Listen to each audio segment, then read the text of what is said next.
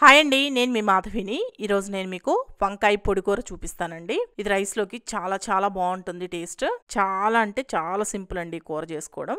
చాలా ఈజీగా త్వరగా అయిపోతుంది. రెండు తయారీ విధానాన్ని చూపిస్తాను. చూసి మీరు కూడా ఇంట్లో చేసుకోండి. చాలా టేస్టీగా ఉంటుంది. ఈ వంకాయ కూర కోసం ఒక చిన్న నిమ్మకాయ సైజ్ అంతా చింతపండును తీసుకొని ఇలా బౌల్లో వేసుకొని చింతపండు మునిగేంత వరకు నీళ్ళు పోసేసి ఒక పది నిమిషాలు నాననివ్వండి. ఇప్పుడు ఒక బౌల్లోకి నీళ్ళు తీసుకొని నీళ్ళల్లో కొద్దిగా ఉప్పు వేసుకొని కలిపేసి పక్కన పెట్టేసుకోండి. ఇప్పుడు నేను ఒక మూడు వందల గ్రాముల దాకా వంకాయలు తీసుకున్నానండి. ఈ వంకాయలు నేను ఈ కలర్లో ఉన్నవి తీసుకున్నాను కదా మీరు ఏ కలర్ వంకాయలు అయినా వాడుకోవచ్చు.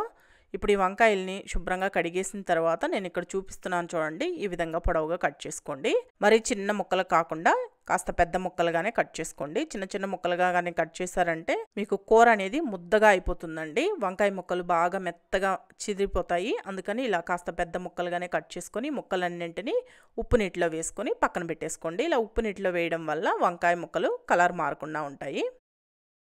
ఇప్పుడు ప్యాన్ వేడి చేసి దీంట్లో రెండు టేబుల్ స్పూన్లు పల్లీలు వేసుకోండి. అలాగే ఒక టేబుల్ స్పూన్ పచ్చిశనగపప్పు ఒక టేబుల్ స్పూన్ మినపప్పు వేసుకొని ఫ్లేమ్ని లో ఫ్లేమ్లో పెట్టి మాడకుండా ఫస్ట్ వీటిల్ని లైట్గా వేయించండి. ఇప్పుడు చూడండి మినపప్పు శనగపప్పు అన్నీ లైట్గా వేగాయి కదా. ఇలా లైట్గా వేగిన తర్వాత ఒక టేబుల్ స్పూన్ ధనియాలు ఒక ఏడెనిమిది దాకా ఎండుమిరపకాయలు వేసుకొని వీటిని కూడా లైట్గా వేగనివ్వండి. ఇప్పుడు ఇవి కూడా వేగిన తర్వాత లాస్ట్లో ఒక టేబుల్ స్పూన్ నువ్వులు వేసుకోండి.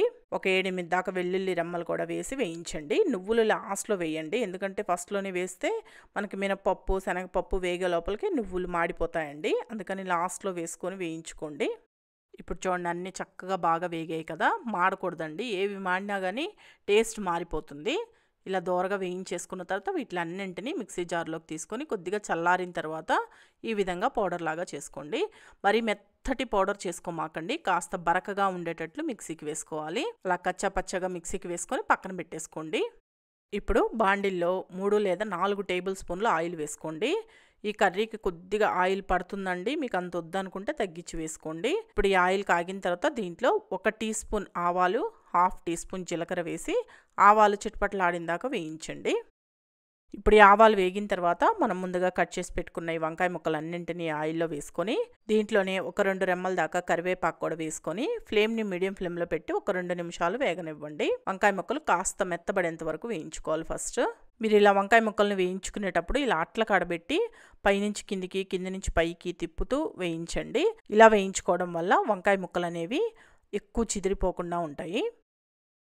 ఇప్పుడు వంకాయ ముక్కలు కొద్దిగా వేగిన తర్వాత దీంట్లో మీ రుచికి సరిపడా సాల్ట్ వేసుకోండి. అలాగే ఒక హాఫ్ టీ స్పూన్ దాకా పసుపు కూడా వేసుకొని ఫ్లేమ్ని లో ఫ్లేమ్లో పెట్టి ఇలా కలుపుతూ వేయించండి. ఇలా వేయించుకునేటప్పుడే దీంట్లో ఒక రెండు చిటికల దాకా ఇంగు వేసుకొని వేయించుకోండి.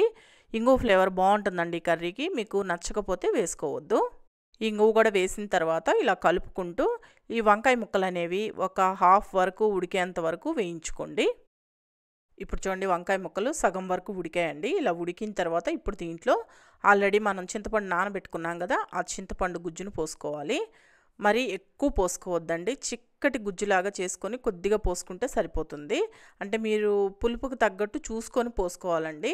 మళ్ళీ పులుపు ఎక్కువైపోయినా కానీ టేస్ట్ మారిపోతుంది. ఇలా చింతపండు నీళ్ళు కూడా పోసుకున్న తర్వాత ఒకసారి బాగా కలిపేసి మూత పెట్టేసి ఫ్లేమ్ని మీడియం ఫ్లేమ్లో పెట్టి ఉడికించండి. చింతపండు నీళ్ళు అనేవి పూర్తిగా ఇంకిపోయి మనకి ఆయిల్ సపరేట్ అవ్వాలి. అలా వచ్చేంత వరకు ఉడకనివ్వండి. ఇప్పుడు చూడండి మూత తీసి చూపిస్తున్నాను. చింతపండు గుజ్జు అనేది బాగా ఇంకిపోయి ఇలా ఆయిల్ సపరేట్ అవ్వాలండి. ఈ ముక్కలు కూడా బాగా ఉడికాయి చూడండి మనకి. జస్ట్ ఇలా తుంచితేనే ఈజీగా తునిగిపోతుంది కదా. ఇలా మెత్తగా ఉడకాలి. ఇలా ఉడికిన తర్వాత ఇప్పుడు దీంట్లో ఆల్రెడీ మనం మిక్సీకి వేసి పెట్టుకున్న పొడి ఉంది కదా ఆ పొడి మొత్తాన్ని వేసుకోవాలి. ఫస్ట్ నేను కొద్దిగా వేసి చూసానండి సరిపోలేదని మిగతాది మొత్తం వేసుకొని కలిపేసుకున్నాను. అలా చూసుకొని వేసుకోండి. ఈ పొడి అనేది మీకు ఎంత కావాలి అనేది అలాగే నేను తీసుకున్న ఎండుమిరపకాయలు కరెక్ట్గా నాకు సరిపోయాయండి. మీకు ఒకవేళ కారం సరిపోలేదు అనిపిస్తే కొద్దిగా కారం వేసుకొని కలుపుకోండి. ఉప్పు సరిపోకపోయినా చూసుకొని ఉప్పు వేసుకోండి. మీకు ఇంకా కావాలి అంటే కొద్దిగా బెల్లం అయినా వేసుకోవచ్చండి. ఎందుకంటే మనం పులుపు వేసున్నాం కదా ఆ పులుపు బ్యాలెన్స్ అవుతుంది అనుకుంటే కొంచెం బెల్లం అయినా వేసుకోవచ్చు. నేనైతే బెల్లం వేయడం లేదు. ఇలా మొత్తం కలిపేసిన తర్వాత స్టవ్ ఆఫ్ చేసేసి సన్నగా తరిగిన కొత్తిమీర చల్లుకొని బాగా కలిపేసుకున్నారంటే వంకాయ కర్రీ రెడీ. ఇది రైస్లో కలుపుకొని తింటే చాలా చాలా బాగుంటుందండి టేస్ట్. మీరు ఎప్పుడైనా ఈ వంకాయ కర్రీని ట్రై చేయకపోతే ఒకసారి తప్పకుండా ట్రై చేయండి. మీ అందరికీ బాగా నచ్చుతుంది ఈ రుచి అనేది. మరి ఈ వీడియో మీకు నచ్చితే మన షిఫ్ ఛానల్ని సబ్స్క్రైబ్ చేసుకోండి లైక్ చేయండి షేర్ చేయండి కామెంట్ చేయండి.